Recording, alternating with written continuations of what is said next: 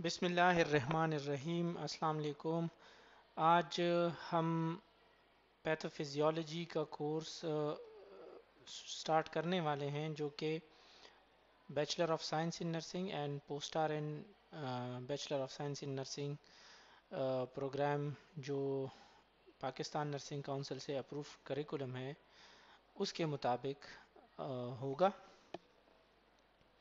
आज का जो हमारा लेक्चर है वो हम बेसिकली फोकस करेंगे इंट्रोडक्शन पे के पैथोफिजियोलॉजी है क्या? उसके इंट्रोडक्शन पे हमारा लेक्चर फोकस करेगा। ये हमारे आज के ऑब्जेक्टिव्स हैं, जिसमें हम पैथोलॉजी और पैथोफिजियोलॉजी को अलग अलग डिफाइन करेंगे। बेसिक कॉन्सेप्ट ऑफ़ डिज़ीज़ और कैसे डिज़ीज़ डेवलप होती है उस पर बात करेंगे। और जो हमारे पास फाइव कंपोनेंट्स होते हैं डिज़ीज़ प्रोसेस के जिसमें aetiology pathogenesis clinical manifestation prevalence and outcome इस पे हम बात करेंगे। सबसे पहले हम, चूँकि कोर्स पैथोफिजियोलॉजी का है तो हमें जो दो टर्म्स हैं पैथोलॉजी एंड फिजियोलॉजी इसके कम्बिनेशन से पैथोफिजियोलॉजी का जो टर्म बना हुआ है, इसको समझने की हमें ज़रूरत है। सो so, चूँकि ये दो वर्ड्स का कम्बिनेशन है इसीलिए इन दो वर्ड्स को समझना हमारे लिए ज़रूरी है। पैथोलॉजी का मतलब है पैथोस जो कि ग्रीक वर्ड से निकला है जिसका मतलब है डिज़ीज़ यानी बीमारी। और पैथोलॉजी में हम डील करते हैं स्ट्रक्चरल या फंक्शनल चेंजेस जो सेल में टिश्यू में या ऑर्गन में। किसी बीमारी की वजह से आती हैं या फिर बीमारी का सबब बनती हैं। तो इसको जब हम डिटेल में पढ़ते हैं, इस प्रोसेस को हम पैथोलॉजी कहते हैं। सेल जो नॉर्मली फ़ंक्शन कर रहा होता है तो वो तो हम सेल बायोलॉजी में नॉर्मल इनॉटमी एंड फिजियोलॉजी में पढ़ते हैं।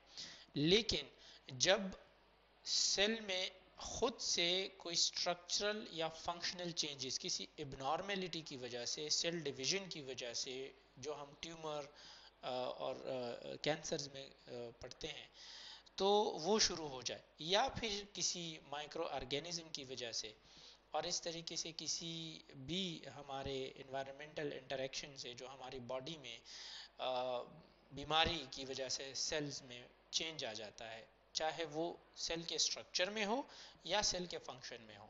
तो जब हम उसको पढ़ते हैं, चाहे वो सेल के लेवल पे हो टिश्यू के लेवल पे हो या ऑर्गन के लेवल पे हो, उसको हम पैथोलॉजी कहते हैं।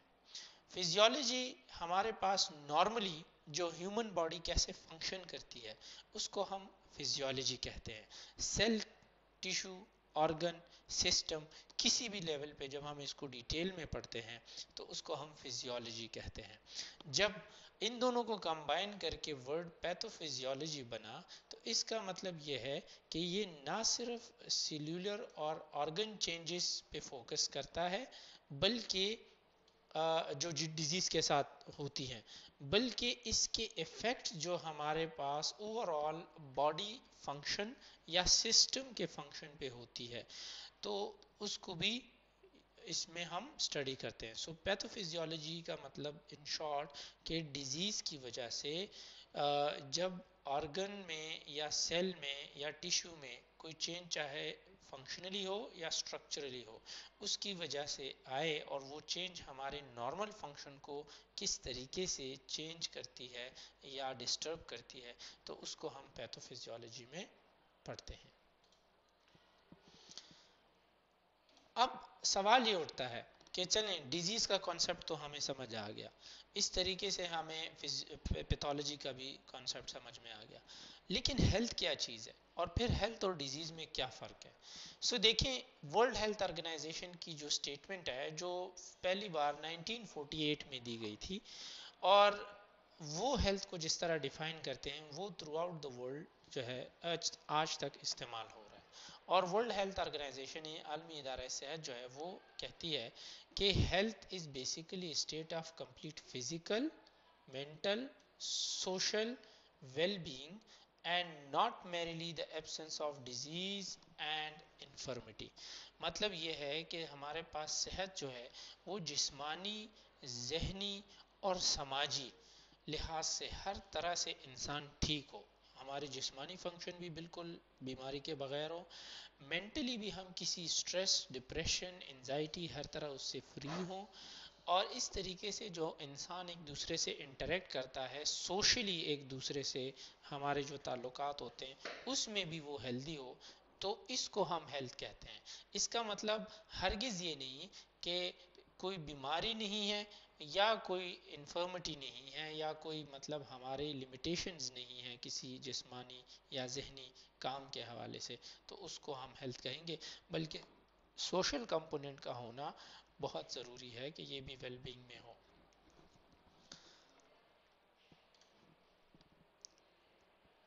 अब डिज़ीज़ को एक्सप्लेन करते हुए, यहाँ पे जो लिखा है, इसमें कि इट इज़ द इंटरप्शन और disorder of a body system और organ structure that is characterise usually by recognise aetiological agent या agents identifiable group of signs in symptoms and consistent anatomic alteration मतलब सो so इसका मतलब कि हमारे body system में यानी जिस्म में जो हमारे अर्गन हैं या जो सिस्टम्स हैं अगर इनमें से ये तीन चीज़ें हों कि या तो कोई बीमारी या आ, का कोई एजेंट हो इबनॉर्मेलिटी पैदा करने का कोई एजेंट कोई वजह हो कोई कॉज हो ठीक है? चाहे वो एक हो या ज़्यादा हो। इसके साथ साथ फिर अलामत भी हों साइन इन सिम्टम्स साइंस वो होते हैं जो हम ऑब्ज़र्व करते हैं, अपने सेंसेस से देखते हैं। एक मरीज़ दर्द में है, उसकी फेशियल एक्सप्रेशन क्या है ब्लड प्रेशर है टेम्परेचर है इस तरह। और सिम्टम्स वो जो मरीज़ हमें खुद वर्बली बताए। इस तरह अलामत साथ में इसके हों। और इसके साथ साथ जो आम इनाटमी इंसान के बॉडी सिस्टम की हो, उसमें कोई चेंज आ जाए। तो ये जब इस तरह की चीज़ें इसमें आ जाएँ तो उस कंडीशन को हम डिज़ीज़ या बीमारी कहते हैं। इसकी मिसाल ऐसे है कि किसी को फॉर एग्ज़ाम्पल मच्छर ने काट काट लिया। अब उससे एलर्जी हो गई उस इंसान को।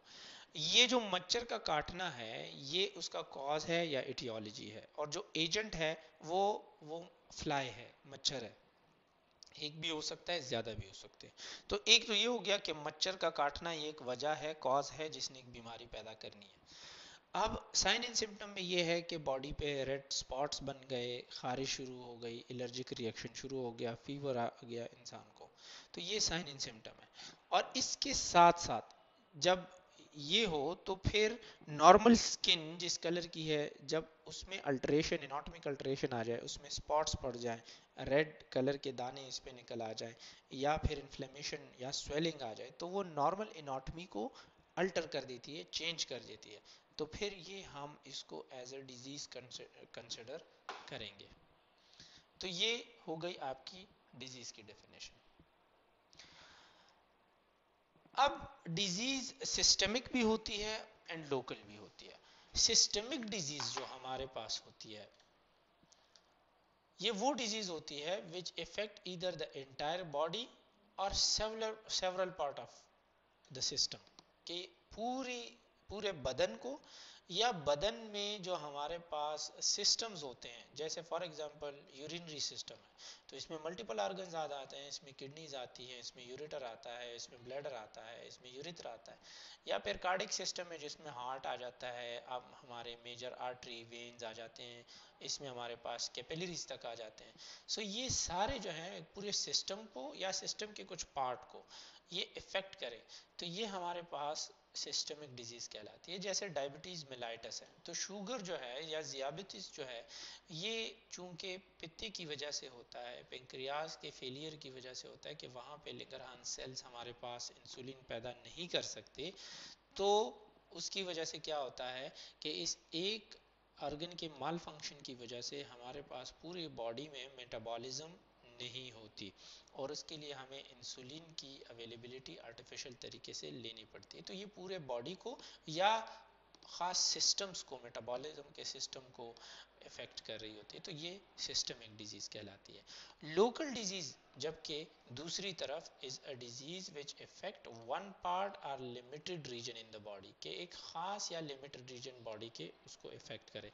जैसे ईयर इन्फेक्शन है या थ्रोट इन्फेक्शन है, या फिर हमारे पास आई इन्फेक्शन है। तो ये लोकल डिज़ीज़ होती है, क्योंकि ये एक ख़ास ऑर्गन को इफ़ेक्ट करती है या लिमिटेड एरिया को। जो डिज़ीज़ प्रोसेस होता है डिज़ीज़ होती कैसे है? तो देखें, इसके बेसिकली पाँच मेजर स्टेप्स हैं। नंबर वन ये है कि कोई भी बीमारी होने के लिए कोई वजह होनी चाहिए, जिसको हम इटियोलॉजी कहते हैं। चाहे वो इंटरनल हो या एक्सटर्नल हो।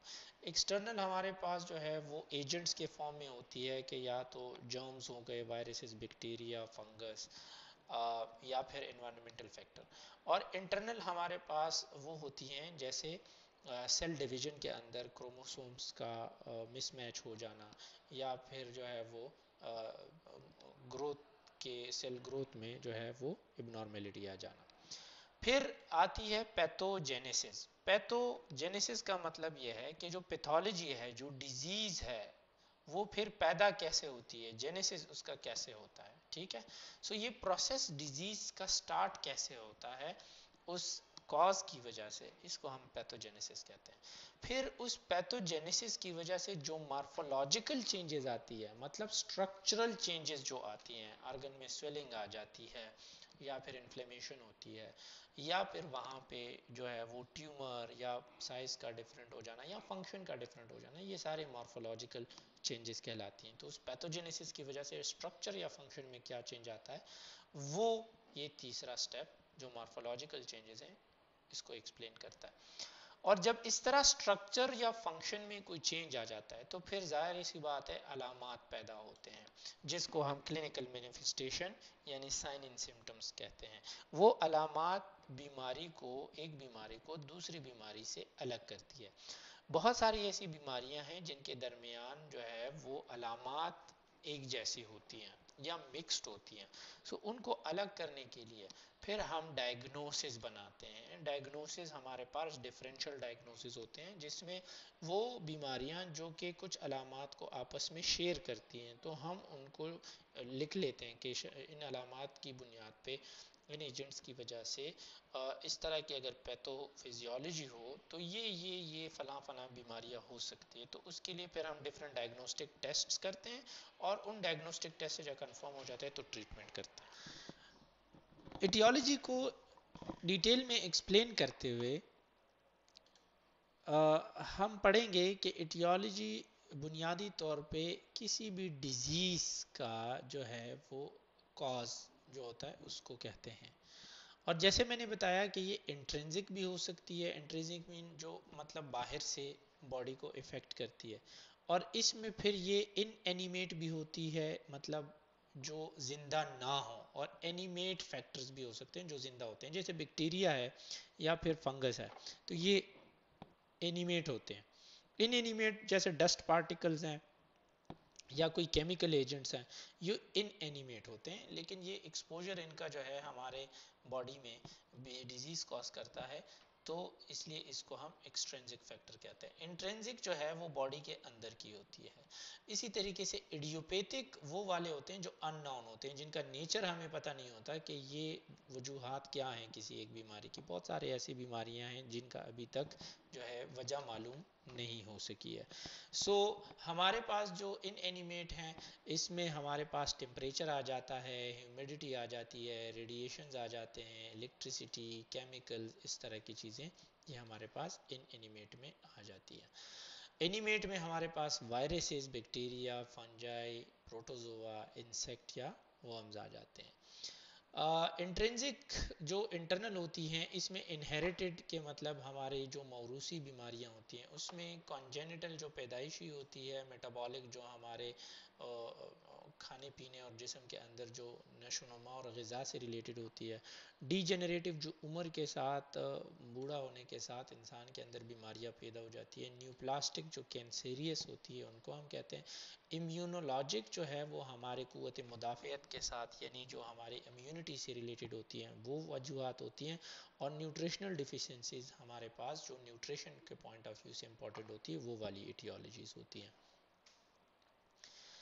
सो so, अब आते हैं पैथोजेनेसिस की तरफ़. So pathogenesis is the sequence of cellular and tissue events that take place from time of initial contact with ideological agent until the ultimate expression of disease के जब किसी कॉज डिज़ीज़ कॉज करने वाले agent के साथ हम in contact आते हैं उस टाइम से लेकर जब तक हमारे पास बीमारी के अलामत शुरू नहीं हो जाते इसके दौरान जितना टाइम होता है, इसको हम पैथोजेनेसिस कहते हैं, क्योंकि इसमें हमारे पास बीमारी बढ़ती है। फॉर एग्ज़ाम्पल एक बैक्टीरिया ने किसी इंसान को कांटेक्ट किसी ने जो है अनहाइजेनिक फ़ूड खा लिया। अब अनहाइजेनिक फ़ूड खाने के बाद छः घंटे बाद उस इंसान को जो है वो वॉमिटिंग और मोशंस शुरू हो गए। जो फ़ूड पॉइजनिंग को शो कर रही है, जो कि दिखा रही है गैस्ट्रोइंट्राइटिस को। तो ये गैस्ट्रोइंट्राइटिस की जो पैथोजेनेसिस है ये बुनियादी तौर पे उस फ़ूड आइटम के साथ कांटेक्ट में आने से लेकर ये अलामत शुरू होने तक का जो टाइम है, इसको हम बेसिकली और उस टाइम के दौरान जो जो जो सीक्वेंस होते हैं, इसको हम पैथोजेनेसिस कहते हैं। दूसरा एग्जांपल जो है atherosclerosis is the aetiology of coronary heart disease जिस तरह हमारे पास जो नसों में चिकनाई की मकदार जो है, वो अगर जमा होती रहे होती रहे होती रहे काफ़ी टाइम तक, और कोई मोटापे का शिकार और वो इसका इलाज ना भी करें, ख्याल ना रखें तो बाय द एंड हमारे पास जब वो हार्ट के डिज़ीज़ के साथ प्रेजेंट करते हैं तो ये पूरा जो सीक्वेंस है ये बेसिकली पैथोजेनेसिस को रिफ्लेक्ट करता है। जहाँ तक क्लिनिकल मैनिफेस्टेशन की बात है तो क्लिनिकल मैनिफेस्टेशन वो अलामत होते हैं जो कि हम स्ट्रक्चरल या फंक्शनल चेंजेस जो हमारे पास होती हैं एक डिज़ीज़ के होने के साथ वो बताती रहती है। तो साइंस जो है, वो मैनिफेस्टेशन होती हैं, जो कि हम एज ए इंडिपेंडेंट ऑब्जर्वर अपने सेंसेस से ऑब्ज़र्व कर सकते हैं। फॉर एग्जांपल बढ़ा हुआ टेम्परेचर हो गया, या जो हमारे पास कोई भी हाथ या पैर या जिसम का कोई हिस्सा जो सूज जाना, फूल जाना, या इस तरीके से हमारे पास आई में जो प्यूपल साइज़ है, वो कॉन्ट्रैक्ट हो जाना या डायलेट हो जाना। ये ऐसी चीज़ें हैं जो हमने आप, कान, नाक और टच और इस तरह सुनने के उससे हम फील कर सकते हैं। दीज आर द साइंस जबकि सिम्टम्स जो है, वो सब्जेक्टिव कंप्लेंट्स होती हैं, जो पेशेंट्स हमें बताते हैं किसी भी डिसऑर्डर के साथ। फॉर एग्जांपल पेन को तो हम देख नहीं सकते, लेकिन मरीज़ के बताने से हमें पता चलेगा कि पेन कितना है। इसी तरीके से सांस लेने में दुशारी जो है, वो मरीज़ हमें बताएगा। ज़ाहरी तौर पर शायद मरीज़ हम, हमें ठीक लगे, लेकिन जब तक मरीज़ बताएगा, हम उस पर यकीन करेंगे। सर चकराना जो है, वो हम अगर एक मरीज़ किसी जगह पे बैठा है और फिर भी उसका सर चकरा रहा है तो वो हम ऑब्ज़र्व नहीं कर सकते। वो मरीज़ के कहने के हिसाब से हम उस पर यकीन करेंगे। And these are called symptoms और फिर हम बात करते हैं डायग्नोसिस पे।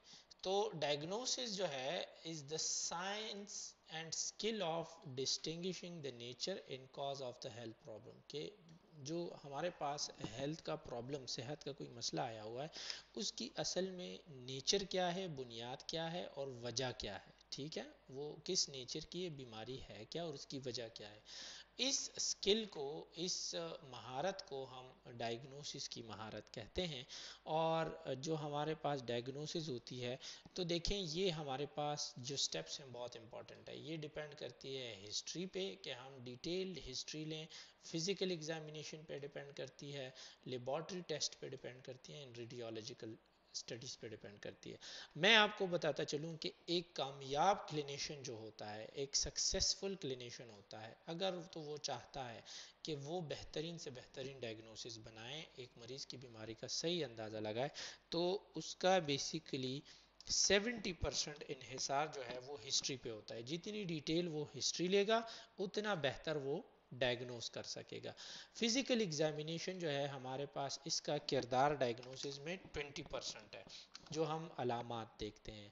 और बाकी जो 10 परसेंट है हमारे पास, ये 10 परसेंट हमारे पास लेबॉर्ट्री स्टडीज़ एंड रेडियोलॉजी के जो स्टडीज़ जो सीटी स्कैन एक्सरे अल्ट्रासाउंड होता है तो हम इस पे डिपेंड करते हैं।